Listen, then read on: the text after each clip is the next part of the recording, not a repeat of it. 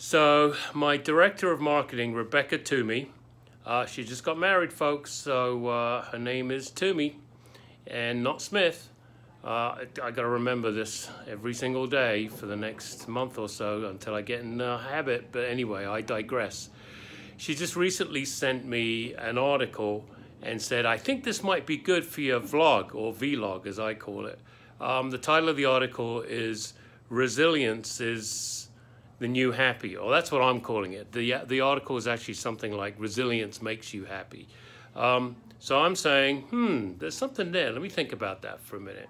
And then I started thinking about it, and then I realized that there's a lot of truth to what this article says.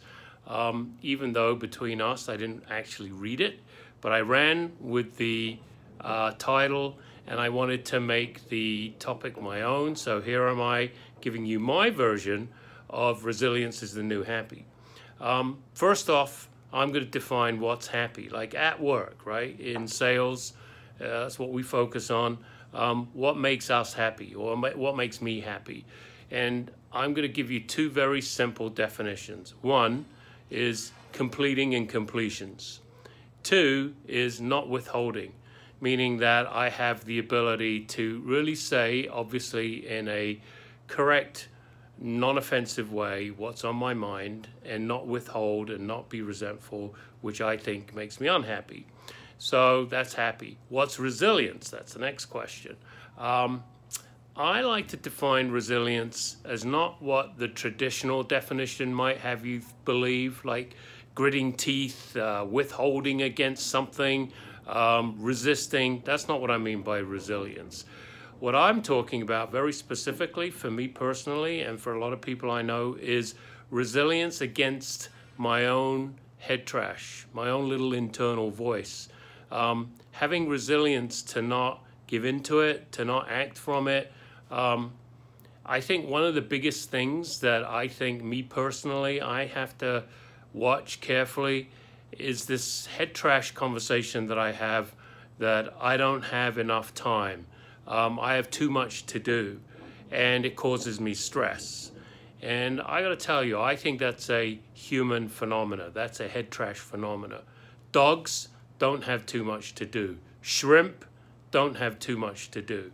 It's something that we kind of invent and I think create angst on our own without anyone actually doing it to us.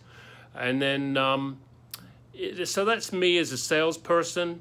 But I also think me as a manager have to have the same resilience to not only not listen to my own head trash, but not to act from, I mean, I can certainly listen, but not act from my team's head trash, the people that are reporting to me. And frankly, throughout the years that I've been a sales VP, a sales director, a sales manager, and a leader, uh, I think I'm often tempted to listen to someone's head trash. And frankly, I don't mean to offend anybody, but a lot of the time I'm getting served up head trash.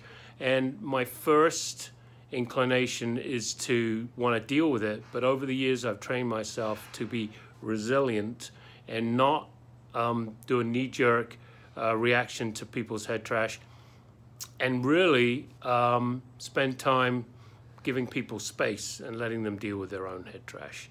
So that's it. Resilience makes you happy.